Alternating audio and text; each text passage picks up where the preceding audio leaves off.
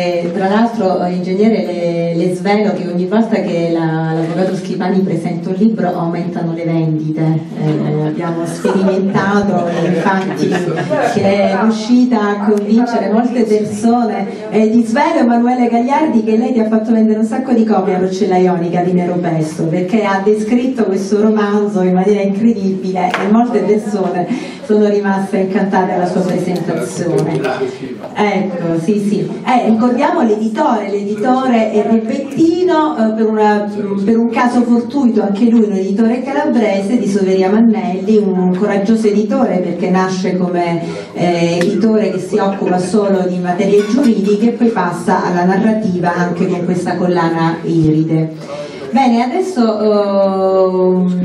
Luigi Mazzarino, avvocato, nostro socio onorario, eh, membro del nostro comitato scientifico. Eh, Gigio, tu hai conosciuto prima l'autore e poi dopo hai letto il suo libro, quindi uh, l'impatto com'è stato? Beh, l'impatto, il libro l'ho dovuto leggere di corsa perché eh, ero giù sono rientrato da Taranto ieri e Antonella me l'ha mandato in edizione eh, informatica una settimana fa, quindi l'ho letto molto velocemente ma mm, gradevolmente. E, cosa dire? Il, tratta della guerra, quindi diciamo che è un tema di estrema attualità, ma eh, io non so se ho centrato dire, le intenzioni dell'autore, ma vi dico quello che ho capito io o perlomeno che, le riflessioni che ha stimolato in me la lettura di questo libro. Mm, Monica ha già parlato di molti aspetti eh, del libro, quindi sopra, passerò sopra, però la cosa che mi colpisce, che io credo almeno, che, la riflessione che faccio io, è che per chi conosce un attimo la storia d'Italia prima della Grande Guerra, quindi dall'occupazione del Sud, alla, alla nascita della questione romana alla Grande Guerra, eh, più o meno sa che cosa è stata la Grande Guerra, qui io credo che l'autore voglia in qualche modo farcelo capire a modo suo. Cioè la Grande Guerra è alla fine il compimento di un risorgimento che noi non abbiamo voluto, che ci è stato calato dall'alto, ma che c'è stato. E con la Grande Guerra, con uh, la morte, il sacrificio, la condivisione dei sacrifici nel, nel, fango, nella neve, ma anche sotto il sole dei vetrai del Castro d'estate, si è creato quell'amalgama che per qualche anno ha creato il popolo italiano. Poi purtroppo questo non c'è stato più. E in questo il marmo, cioè la trasformazione del vittoriano, da vittoriano in altare della patria, quindi da monumento celebrativo di un re invasore, un viso a buona parte del popolo romano e non solo, non accettato e non sentito come suo. Invece a noi borbonici. Io sono borbonico e noto e papista, quindi per carità, però che gli hanno buttato giù le case, vabbè, ma poi c'è stato un altro che ne ha buttato giù l'altro, però quella trasformazione è stata un'opera sicuramente di propaganda straordinaria, ma eh, è riuscita a creare eh, intorno a questo sacrificio imposto dall'alto e subito dal popolo italiano il concetto di popolo, anche perché eh, sulle, sulle linee del fronte. Si sono ritrovati insieme per la prima volta, dalla stessa parte peraltro, persone che non sapevano neanche che esistesse forse nel paese al di là di o un qualcosa che più lontano della, di dove potevano arrivare i loro occhi, che avevano sentito parlare di questo re, ma dell'Italia, ma parlo del popolo ovviamente, perché poi la, la classe aristocratica e borghese è un discorso diverso, ma anche questa. Il modo in cui viene inquadrato il, um, come dire, la, le sensazioni e le motivazioni dei, di questi dieci uh, ignoti uh, mi è piaciuto particolarmente proprio perché oltre a, ad alcuni, a me alcune citazioni, Papa Giovanni, uh, Hemingway, ma uh, gli anarchici della zona di Massa Carrara, eh, il contadino che non era né anarchico né, niente, ma era contadino e voleva vivere la sua vita in santa pace con la sua famiglia. E, oltre a ricreare un'atmosfera generale che eh, dismette i toni trionfalistici il, con cui vi è stata presentata anche nel centesimo anniversario della Grande Guerra, perché è vero che c'è stata una minoranza forte e rumorosa che manifestava per la guerra, per la verità c'era anche una minoranza altrettanto rumorosa che, che parteggiava per gli austriaci, perché non dimentichiamoci che eravamo alleati, nel 14 eravamo alleati, eravamo nella triplice alleanza. Però fondamentalmente è una guerra imposta alla maggioranza dei cittadini, e più o meno è quello che vediamo qui, ma salvo un paio di entusiasti, eh, ma mh, l'accettano, non c'è un, un, rifiuto come probabilmente invece sarà accaduto a chi ha ricevuto la cartolina in quel periodo. C'è una descrizione forse dell'angoscia della famiglia, dell'ambiente familiare a, a, questa notizia. La cosa che però volevo sottolineare, perché sennò poi ripeto anche alcuni concetti espressi da Monica, è proprio questo, cioè l'inutile bagno di sangue di cui parlava Papa Benedetto XV eh, contro cui si scagliò, ebbe questo effetto forte per ciò che riguarda noi, creò questo senso di appartenenza. E mi piace in particolare ehm, la citazione che viene fatta, non tanto perché questa dotta citazione del sergente maggiore Angelo Roncalli, decorato con croce di guerra al, nel corso della prima guerra mondiale, ma perché descrive bene uno degli aspetti eh, importantissimi per l'Italia della della prima guerra mondiale. Si comincia a chiudere la questione romana perché i cattolici non erano guardati con molta diffidenza, ovviamente eh, la Chiesa se proprio doveva parteggiare avrebbe parteggiato per l'impero austro-ungarico cattolico e devoto e non per il re usurpatore, massone eh, e rapinatore ma mh, mm, però la Chiesa fa la sua parte, pur essendo sostanzialmente per la pace. Poi ci sono stati sacerdoti guerrafondai, ce ne sono stati tanti, ma ci sono anche quelli che sono pentiti. Padre Semeria, un gesuita, è, è famosissimo, eh, si spese, è, è un d'annunzio in, in tonaca, ma eh, poi si pentì perché andò al fronte volontario e vide che aveva ragione Papa Benedetto questa carneficina era inutile e, e devastante. È simpatica la citazione della, dei fanti o degli ufficiali che come dire, fanno gli scongiuri ad apparire della, dei, dei, cappellani perché purtroppo i cappellani distribuivano l'estrema unzione e, e come venivano utilizzati per tranquillizzare la truppa anche, ma su tutti i fronti questo, nel momento dell'attacco, però come diceva giustamente, come dicono buona parte dei commentatori, in realtà la funzione del cappellano fu molto utile nel corso della Grande Guerra, perché i cappellani furono i primi psicologi o confidenti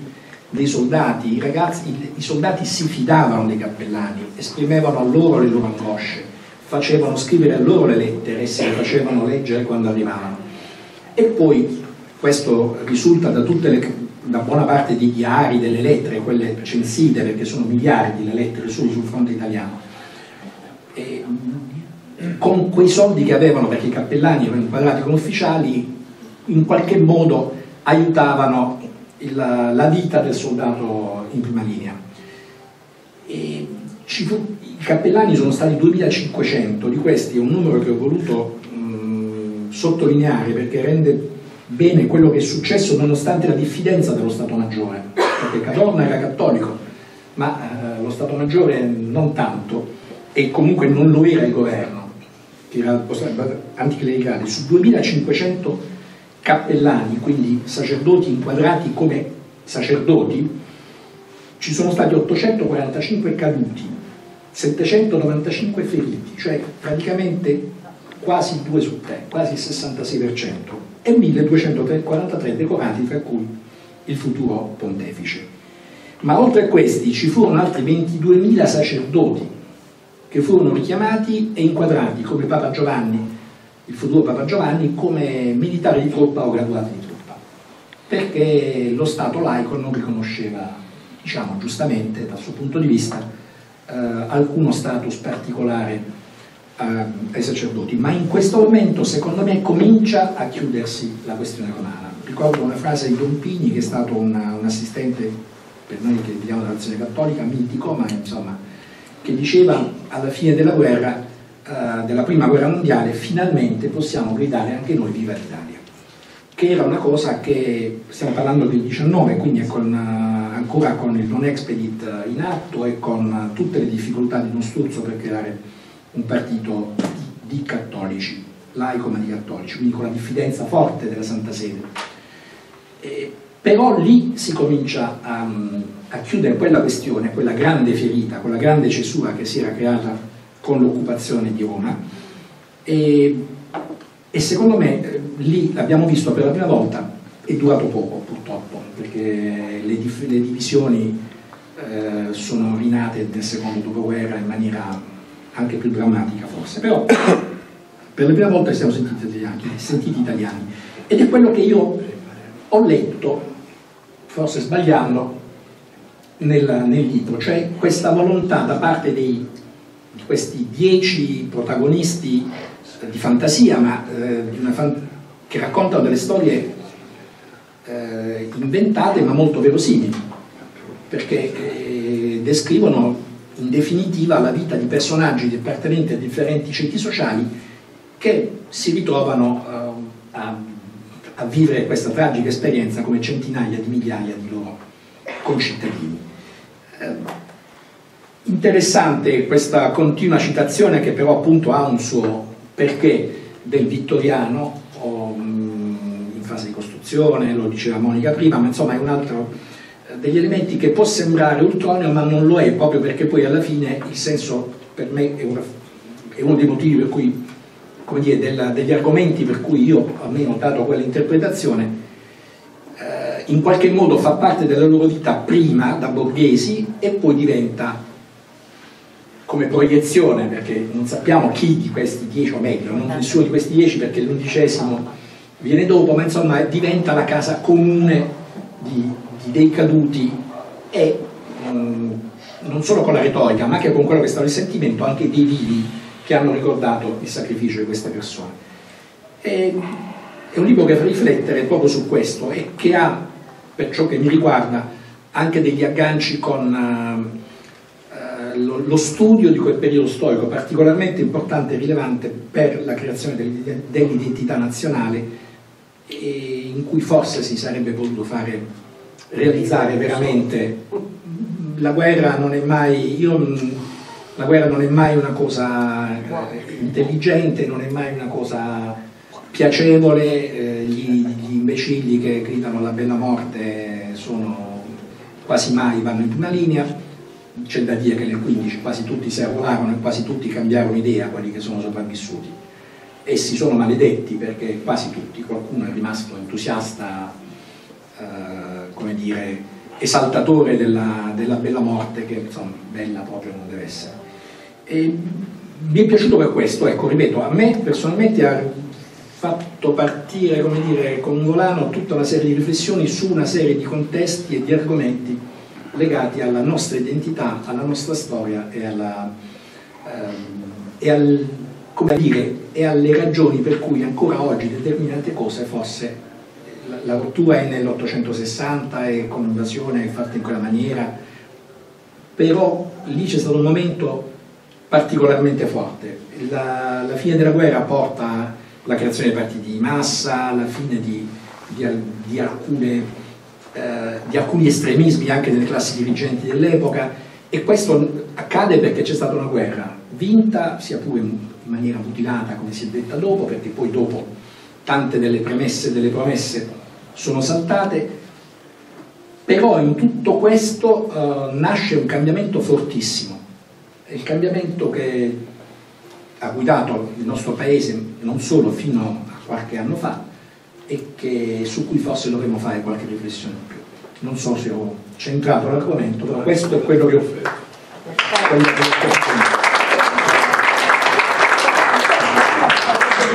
Due cose velocissime perché mi ero poi tra le varie cose mi hai fatto venire in mente. E infatti quando poi eh, ci fu la cerimonia eh, per la tumulazione del milite ignoto eh, il 4 novembre del 21 mi pare fu la manifestazione eh, più grande che ci fosse mai stata in Italia ma anche poi negli anni a venire perché si dice che partecipò oltre un milione di persone. Quindi questo proprio per richiamarvi a quello che tu dicevi quindi quel, quel senso di identità. Eh, l'ultima cosa devo dire professor Palma mi dispiace che stasera non abbiamo una cantante perché io, i miei figli mi prendono sempre in giro però giuro, io da sola mi canticchio il, no, io canticchio da sola il piave da stonata e mi sento un nodo alla gola che è una cosa incredibile perché veramente ricollegandomi a quello che ha detto Luigi ecco forse lì veramente si è sentito il senso di appartenenza e di sacrificio. Grazie Va bene, accoglieremo questa proposta dell'Avvocato Schivani di sentirla cantare. E... Oh, no. no, Bene, eh, questo accade, il bello della diretta. No, volevo ringraziare eh, Gigio per questo suo intervento che, eh, dal quale, come avete eh, sentito, trapela anche il suo impegno politico, perché eh, Gigio è, un, è stato un attivista, figlio anche di un grande esponente della nostra democrazia cristiana, quindi ci ha riportato anche della dimensione anche di questa identificazione dei valori cristiani, dei valori cattolici.